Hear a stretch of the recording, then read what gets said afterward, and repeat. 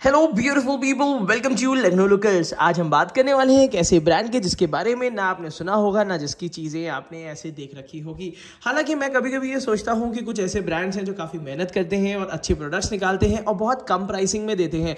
तो क्या हमें कुछ ऐसे नए ब्रांड्स को नज़रअंदाज कर देना चाहिए या उसको एक बार ट्राई ज़रूर करना चाहिए? तो हालाँकि आज मैं दिखाने वाला हूँ कि अगर कोई भी नया ब्रांड या कोई भी ऐसा ब्रांड आप ट्राई करना चाहते हैं जिसको कम प्राइसिंग में बेहतर क्वालिटी क्या कहते हैं तो चलिए आज मैं रिव्यू और डिटेल रिव्यू करने वाला हूँ, सम्राट के stainless steel casserole winter season के ये कैसरोल जो है, वो काफ़ी हेल्प करेंगे खाने को गर्म रखने में।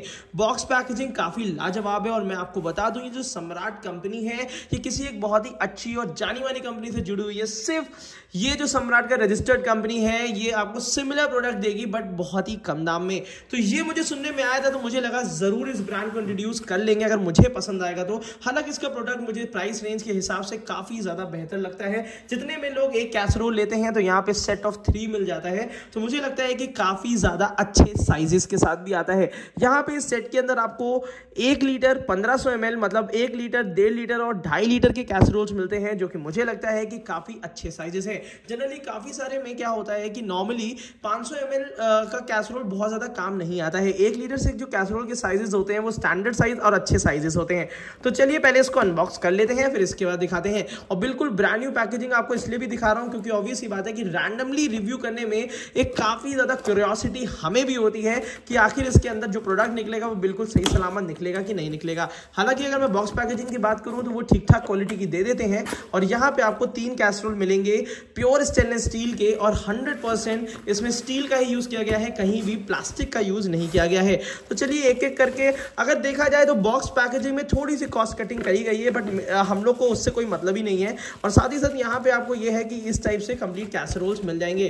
तो यहाँ पे ज़रा सा बॉक्स को फिर से बंद करके एक बार ढंग से रख देते हैं, क्योंकि अभी इसके बाद प्राइसिंग के लिए इसका ज़रूर काम आएगा। तो इसको ज़रा पीछे रख देते हैं और यहाँ पे लेकर आ जाते हैं ये कैसरोल और इसके बाद इंतज़ार करिएगा थोड़ा सा और इस वीडियो में, क्योंकि इसकी प्राइसिंग भी काफ़ी शॉकिंग है। मैंने कितने का लिया वो मैं ज़रूर बताऊँगा। तो चलिए एक एक करके डिस्कस करते हैं।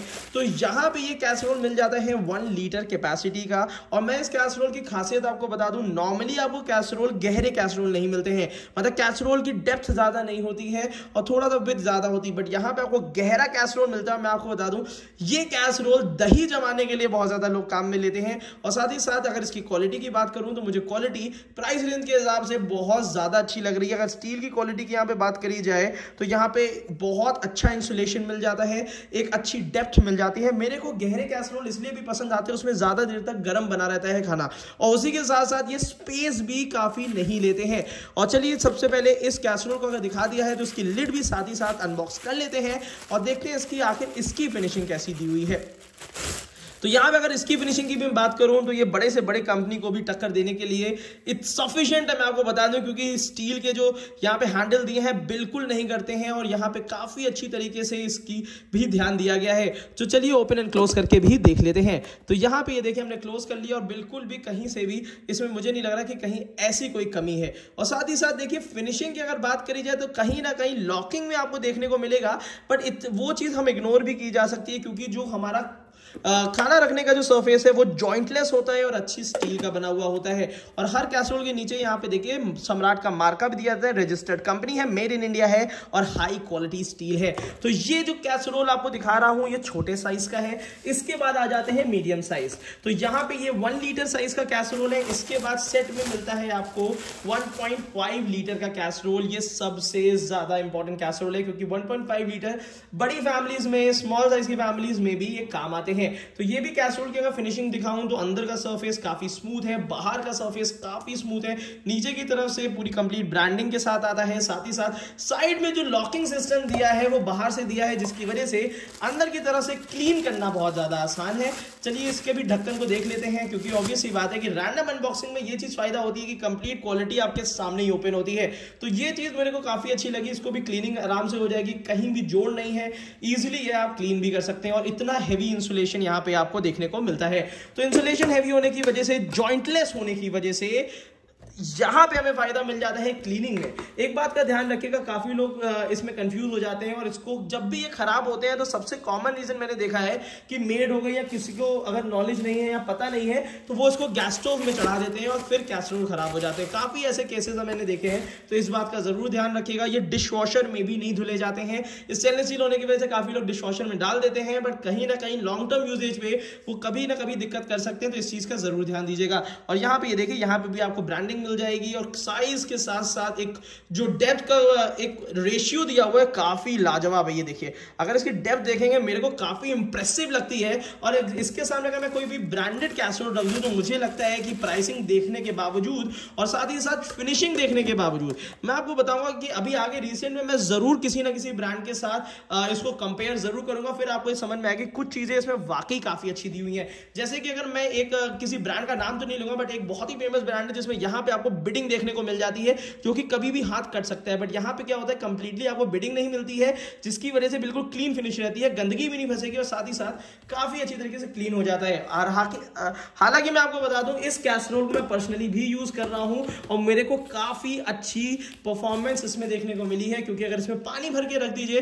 और छह घंटे बाद के आसपास ओपन करिए तो मेरे कैसरोल में तो मुझे गर्म ही मिलता है। पानी से आप चेक कर सकते हैं इसको। तो ये मुझे लगता है कि ये है कि अगर कोई भी फ़ूड मटेरियल है और सर्दी के सीज़न में तीन घंटे तो आराम से इसमें गर्म गर्म बना रहेगा, अगर बार बार आप खोल के देखे ना तो। इस चीज़ का ज़रूर ध्यान दीजिएगा। अब समय आ गया है इस कैसरोल के बारे की क्वालिटी भी बता दी है। स्टेनलेस स्टील का है हेल्दी है हाइजीनिक है साइज़ काफ़ी अच्छे हैं और उसी के साथ साथ मैं आपको बता दूँ, कहीं ना कहीं यहाँ पे साइड में लॉक में जो फिनिशिंग है, वो तो एक आध कैसरोल में मुझे देखने को लगी तो थोड़ा सा फिनिशिंग मेरे को 19 लगी बट यह है कि अगर प्राइस रेंज की मैं बात करूँ तो ये मुझे काफ़ी ज़्यादा पसंद आया है।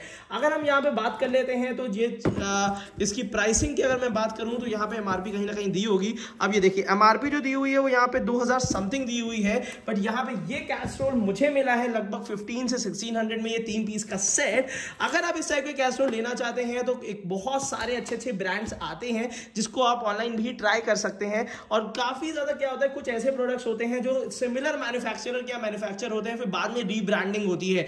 तो ये, इन सब चीज़ों में ना पड़ के मेरे को लगता है कि कुछ ऐसे ब्रांड्स हमें ज़रूर देखने चाहिए। बस ये है कि कुछ चेक पॉइंट ज़रूर ज़रूरी होते हैं कि सबसे इंपॉर्टेंट है कि कोई नया ब्रांड आप ट्राई कर रहे हैं तो सबसे पहले उसकी साइड की फिनिशिंग देख लीजिए। इन बातों का ध्यान रखिएगा वीडियो का ये पोर्शन बहुत इंपॉर्टेंट है। सबसे पहले ऊपर का सर्फेस देखिए कि कहीं हाथ में गड़ तो नहीं रहा है, नीचे का सर्फेस देखिए कि कहीं भी ऐसा तो नहीं है कि स्मूथनेस में कोई इशू आ रहा है, कहीं भी जोड़ खुला हुआ तो नहीं है। साइड के लॉक्स जो है वो बराबर बंद हो रहे हैं कि नहीं हो रहे हैं, बहुत ज़्यादा ताकत तो नहीं लग रही है बंद या ओपन करने में, या बहुत ज़्यादा आराम से तो नहीं बंद हो रहे हैं। ऐसे हिला के देख लीजिए कि अगर पटर पटर की आवाज़ तो नहीं आ रही है, यहाँ पे कहीं गैपिंग तो नहीं है। इन सब बातों का ध्यान रखिए और उसी के साथ साथ पूरी एक बार 360 डिग्री चेकिंग कर लीजिए हर तरफ़ से। अगर आपको लग रहा है कि क्वालिटी अच्छी है, बेमिसाल है तो आप उसमें पैसा लगा सकते हैं और हेल्दी किचन में एक हेल्दी यूटेंसिल आप ला सकते हैं। तो अगर इस टाइप की वीडियो आपको पसंद आई है और आप चाहते हैं इस टाइप के प्रोडक्ट्स को परचेज करना तो कुछ प्रोडक्ट्स के बाय लिंक मैंने आपको नीचे डिस्क्रिप्शन बॉक्स में दे दिए हैं, जिसको कंप्लीटली आप खरीद सकते हैं ऑल इंडिया के लिए।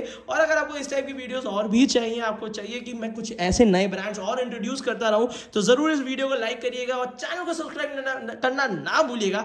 रीज़न ये होता है क्योंकि हर तरीके के ब्रांड्स हम कोशिश करते हैं कि आप तक पहुँचा दें कि आप उसको परचेज करके अपने किचन को और घर को हेल्दी बना सकें। तो thank you so much keep supporting us